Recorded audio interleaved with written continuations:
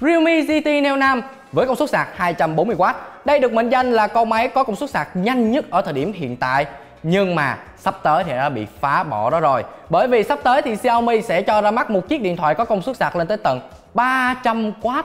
kinh khủng chưa và ngay bây giờ thì hãy cùng mình đi tìm hiểu xem với chiếc điện thoại công suất sạc 300W thì chúng ta sẽ có thể sạc đầy viên pin trong khoảng thời gian như thế nào nha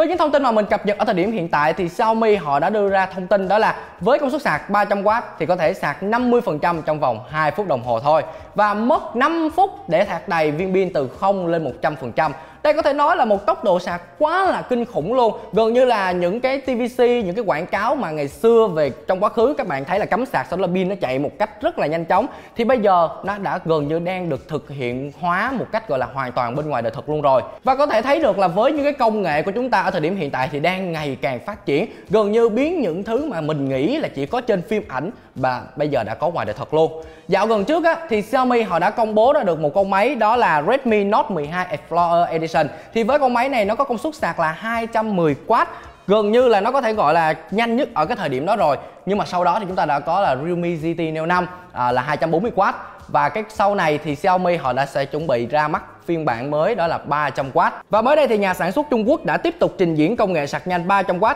cho phép chúng ta sạc đầy viên pin 100% chỉ trong vòng 5 phút cắm sạc. Với cái tốc độ này thì sẽ hứa hẹn mang đến cho người dùng chúng ta những cái trải nghiệm cực kỳ là đỉnh cao trong tương lai. Và cụ thể thì với đoạn video Xiaomi đăng tải trên mạng xã hội Weibo và con máy được dự tính là sẽ áp dụng công nghệ sạc nhanh 300W này, đó chính là Redmi Note 12 Pro Plus và với đoạn video mà Xiaomi đã đăng tải trên Weibo thì có thể thấy được phiên bản này đang có viên pin là 4100 mAh, có thể sạc đầy gần 50% pin chỉ trong vòng 2 phút cắm sạc và sạc đầy 100% pin chỉ trong vòng 5 phút mà thôi. Xiaomi cho biết đây là một cột mốc quan trọng trong kỷ nguyên chạy đua về công nghệ sạc nhanh trên điện thoại. Và bên cạnh đó thì Xiaomi cũng khẳng định với công nghệ sạc nhanh này, máy có thể duy trì công suất cực đại lên tới tận là 290W trong vòng 2 giây và 280W trong vòng khoảng 2 phút. Và nếu như mà xét trên mặt thực tế, thì đa số tất cả những cái công nghệ sạc ở thời điểm hiện tại đều chỉ cho phép điện thoại chúng ta duy trì mức công suất cao trong một khoảng thời gian rất ngắn và sau đó thì sẽ giảm dần giảm dần để có thể giúp cho cái ờ, viên pin của chúng ta bền nè, và cũng như là không có xảy ra những tình trạng cháy nổ khác. Do đó, để có thể giúp máy duy trì được công suất sạc lớn trong một khoảng thời gian dài,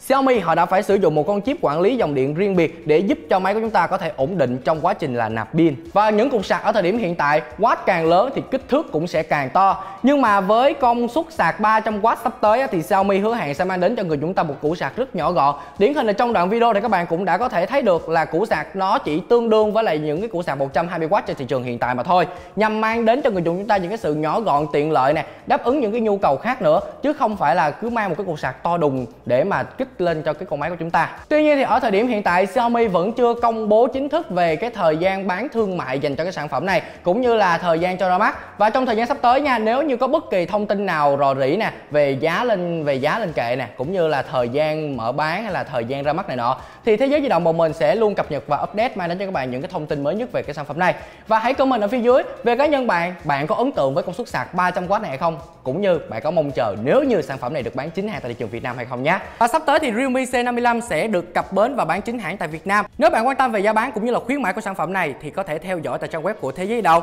cũng như thì với những ai đặt hàng Xiaomi 13 series tại thời điểm này, chúng ta sẽ nhận được bộ quà tặng vô cùng hấp dẫn. Bên cạnh đó thì những điện thoại khác cũng như là máy tính bảng hay là phụ kiện thì vẫn còn đang nằm trong chương trình khuyến mại 8 tháng 3 giảm với mức giá cực kỳ sốc. Tham khảo ngay tại trang web của thế giới Đọc bằng cách bấm vào đường link ở phía dưới nha. Còn bây giờ thì cảm ơn tất cả các bạn đã theo dõi hết video. Đừng quên cho tụi mình một like cũng như là nhấn nút đăng ký kênh của thế giới Đọc để không bỏ lỡ những video tụi mình đăng tải sau này. Xin chào tạm biệt và hẹn gặp lại mọi người trong những video lần sau. Bye bye.